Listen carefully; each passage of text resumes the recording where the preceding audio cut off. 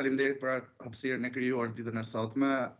Normalisht ne kemi qenë që nga 2018-a në vazhdimësi në fakt në protesta për përmirësimin e jetës universitare në tërësi dhe normalisht nga gjithë kjo situatë e ndodhur me këto rritje çmimesh edhe taksash për gjithë shoqërinë ose gjithë vendin, normalisht një grup i veçantë i cili preket nga këto rritje çmimesh ose taksash janë edhe studentët, të cilët normalisht janë në protestë, por nuk kanë qenë si thua në mënyrë të organizuar. Dhe patjetër e kemi parë të arsyeshme që ne t'i bashkohemi kësaj proteste në mënyra ose në forma të organizuara dhe patjetër ditën e djeshme ne kemi mbajtur dhe një qëndrim dhe kemi dalë me fillimisht tre kërkesa, të cilat normalisht dy prej tyre janë bazike dhe le të themi ndihmojnë një pjesë të madhe në këtë situatë që është krijuar për sa i përket rritjes së çmimeve dhe taksave. Dhe këto kërkesa i drejtohen normalisht Ministrisë së Arsimit dhe patjetër dhe kryeministrit. Nuk e di nëse do doni të t'ju ndaja, domethënë, kërkesat dhe pastaj dhe më pas nëse do kishit të okay, pyetje ose ta diskutonim. Po, po, patjetër. Atëherë, pika e parë, le të themi, është përgjysmimi i tarifave për ciklin e dytë të studimeve, që është masteri, masteri shkencor.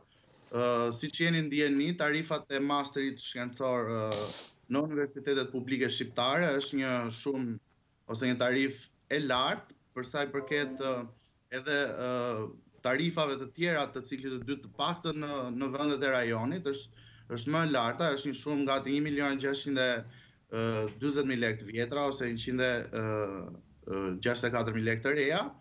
Dhe normalisht kjo tarifë nëse do të përgjysmohej ose nëse do të kishte një subvencionim nga ana e qeverisë, do të lehtësonte shumë studentët e ciklit të dytë, pra studentët e masterit, dhe një lehtësim tjetër që normalisht këto janë kërkesa objektive, nuk janë kërkesa të pamenduara ose thjesht tek atë moment.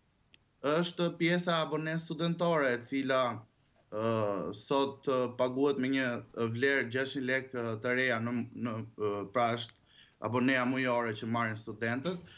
Nëse kjo do të hiqej që është e arritshme do të ishte një lehtësim le të themi i vogël por patjetër në dobi të studentëve dhe mund të bëhej lehtësisht nga ana e në këtë rast është Bashkia e Tiranës dhe jo Ministri i Arsimit ose Kryeministri, dhe domethënë këto janë dy pika objektive që ne kemi menduar që janë të arritshme dhe normalisht mund të ndihmonin goxha në këtë situatë e cila është krijuar momentalisht në vendin tonë.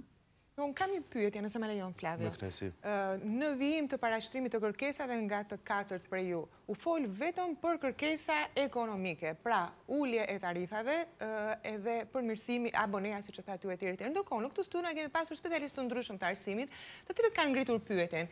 Këta studentë, kanë vetëm kërkesa ekonomike, janë të knaqur nga cilësia e mësimdhënies, apo jo? Sepse jeni në universitet për të marrë Për të marrë pikërisht dije dhe sigurisht që ka një sërë problemesh. Do mundeni të gjithë sa të mbarojë Dori. Ndërkohë që janë paguar lekët, vazhdimisht kokërr më kokërr nga prindërit tuaj edhe puna juaj,.